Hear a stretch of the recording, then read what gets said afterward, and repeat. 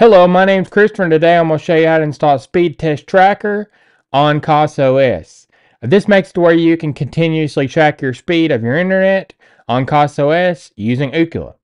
So, a little bit about this series, I'm going over a home lab, so we're installing things, getting things set up, everything like that. So if you like that, subscribe, comment, like, and support the channel, and let's get started.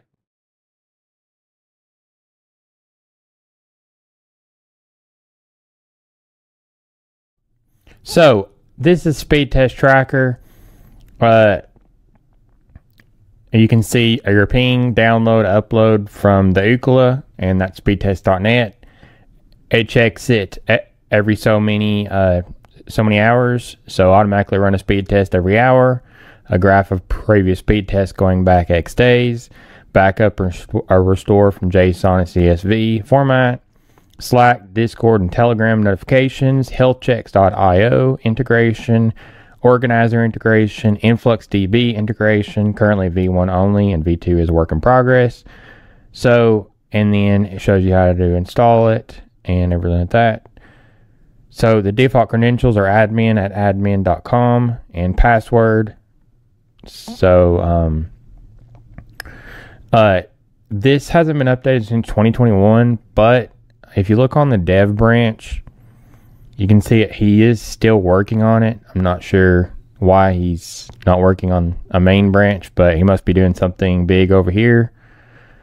So it looks like it is still being developed. So I'm going to go back over here and I'm going to go to my um, my Big Bear video assets and show you the Docker Compose. So we're going to start out on the Big Bear video assets. There will be a link down in the description. Um, so we're going to go to how to install speed tracker on CasaOS right here. And then I'm going to go to Docker Compose speed test tracker right here. And then I'm going to explain it. So version of the Docker Compose, version 3 define services. So services and then the service underneath the services is speed test. The conta- container name is going to uh, be called speed test. The image that I'm using is off Docker Hub. So if there's no uh, a URL before this, then it's automatically coming off of Docker Hub. And then so port mappings are 8765 on the uh, the host port to the container port of 80. So you can change the host port if it conflicts with another port. So I'm going to set a volume. So data, app data, speed test tracker, and then in the container is config. You can change the host side, but do not change the um, cont- container side. I'm going to set some environment variables. So the time uh, the, uh, the time zone is going to be your time zone. So put it here and then group ID and user ID, and then uh, acknowledge Ookla's EULA and GDPR set to true.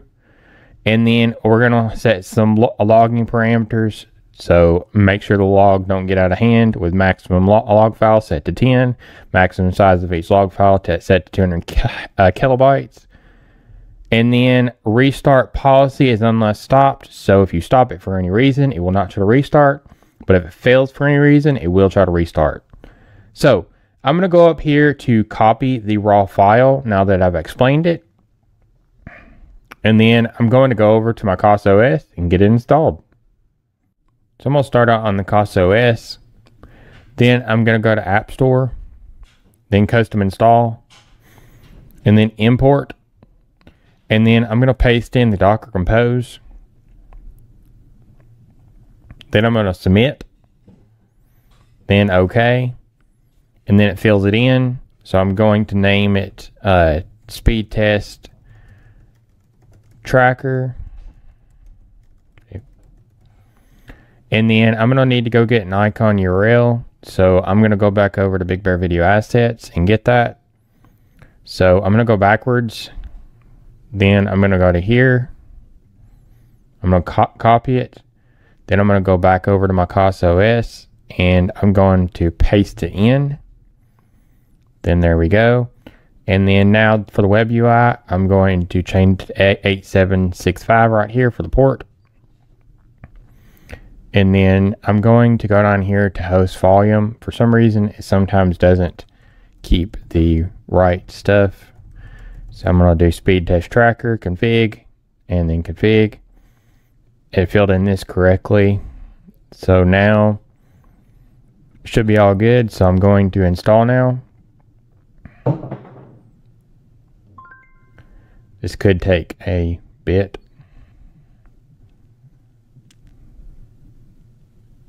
So now it's installed. So now you can go ahead and open tips to where you can have your own tips. And then settings, you can go in here and change the settings again. You can go to terminal logs, and this is great for debugging. And then export Docker Compose file right here. Once you change things in here, you press save. So you can check the uh, for updates on the container. This only checks for the current tag it's on. And then un uninstall, restart, power off and on. So I'm going to go into it and open it and see if it works. Okay, you can see it started up. So we're going to get to testing it. So now when you open it up for the first time, it'll say not a number because there's nothing like, um, uh, there's no data. So you can go up here and say test again, and then it'll queue it up. In the meantime, while, while the queue's going, I'm going to go show you the other things. Like you can see all the tests that run. There's no tests run yet. And then settings. You can change the app name you, you can schedule the enabled. You can turn it off and on. Uh, this is a cron job that runs the speed test.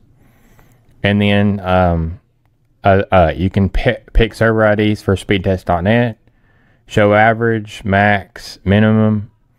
Then you can, you can have you can customize the graphs. Here's the tables you can customize. There's the notification center to where you can get sent no- uh, notifications. And then the, here's the health checks uh, config, uh, dot, uh, the healthchecks.io config. Then here's the influx DB config. You can reset the whole database and just delete them all.